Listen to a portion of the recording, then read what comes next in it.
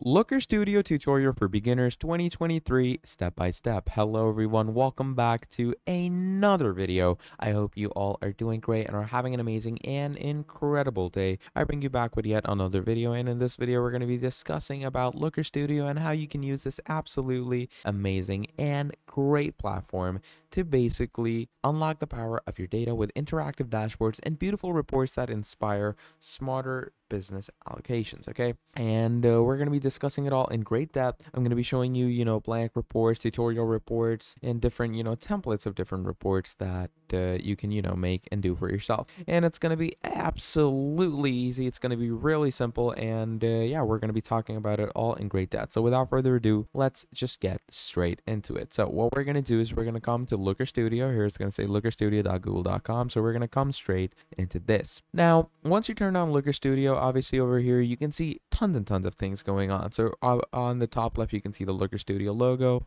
and you can see all these things down here. So first of all here it says start with a template. So the templates it could either be a blank report for Looker Studio, you have a tutorial report, Acme Marketing, Search Console report, Google Ads overview, a YouTube channel report, and much, much more. So obviously you can go ahead and create a report for yourself straight away.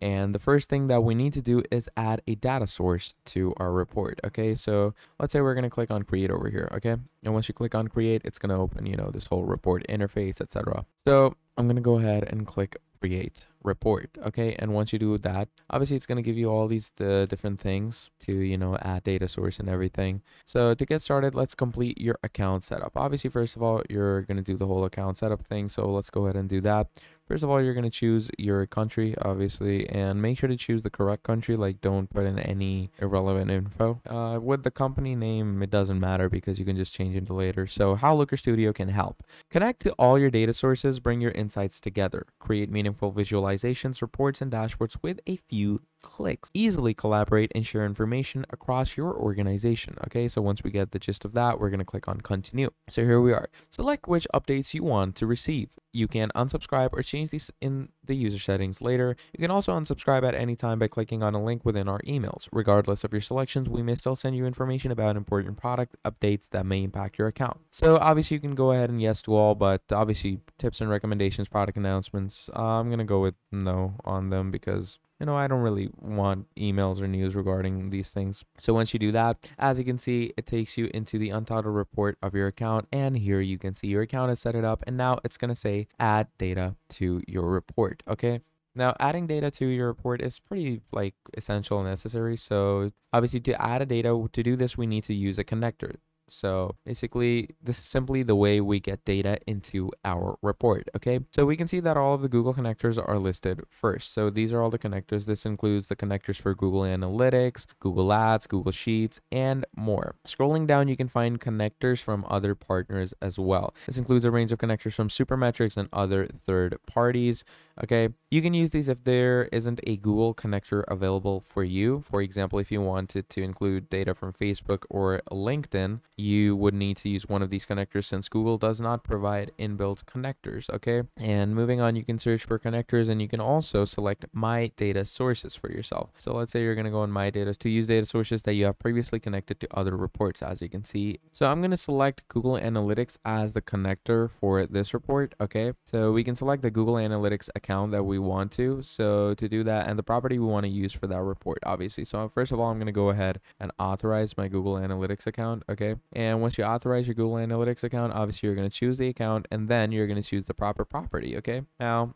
I'm going to go with this. This is a store of mine. And uh, today we're going to use Google's GA4 or Google Analytics 4 property. And I'm going to go ahead and click on add. Now, once you do that, like uh, when you, you know, create your report. So once we're happy, we just need to click add to report. Okay. Here you have all this. So, you know, and you're going to click on add to report. And once you do that, obviously it's going to create a report for you. So we can see that a table is automatically added to our report. And we're looking at the report canvas, which is where we build our proper report. Okay and uh, across the top we have a range of options. For example we can select insert or add a chart to add visualizations to our report. This includes time series charts column charts combo charts pie charts bar charts you know tables bubble maps filled maps heat maps line maps you know different types of geo charts scorecards scatter charts bullet charts stacked area charts and you know pivot tables, tree maps, gauges, and much, much more. There's like a whole list. Since the table is selected, we can modify this chart using the panel on the right hand side for ourselves. We can see there are two columns. So the first column lets us adjust the visualization on the right hand side. This is where we can change the dimensions and metrics presented in the proper chart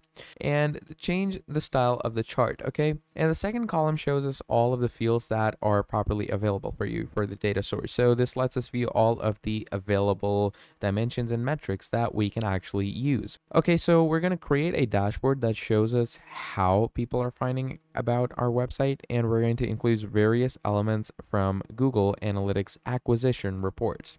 So let's start by changing the dimension from event name. So we can see our marketing channels. Okay, to do this, we can click on the current dimension, obviously over here. And here's your current dimension and, you know, search for session default grouping and everything. So session default. There we go. So there's the session default. Now let's you can obviously change the metric that's presented in the channel by going down here and you know you turn on uh, do this stuff. And then you can also add operational metrics. And now you can add another metric to the report by just coming over here. You know you have this. And uh, let's say i'm gonna add rpu you can change the views as well. Pretty simple stuff. And then you can search for the metric you want to add. So you can search uh, add more stuff like uh, metric or you know add average purchase revenue let's say. So you can add that and you can send it to you know number of people on your website. Pretty basic and easy stuff. And you can also quickly see your important marketing channel widgets and prompts which is also pretty simple and pretty easy. You have all these different data sources and ad sources that you can add. Again pretty simple and easy stuff to get your head around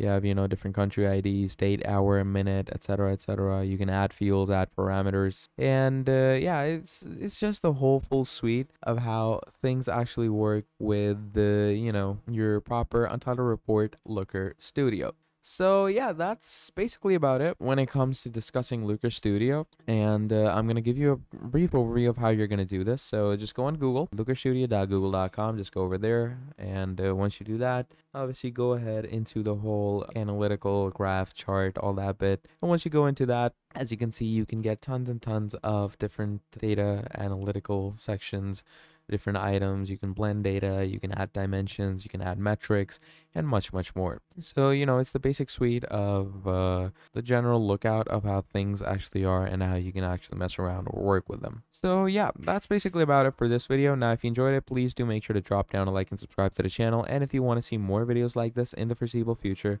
let me know down in the comments below and I will be making more for you. And if you have any issue with this video, please let me know so I can fix it for you as soon as I can in the comments. But yeah, that's about it. So thank you for watching this video till the end. That was all from me and I will be seeing all of few incredible people next time. Goodbye.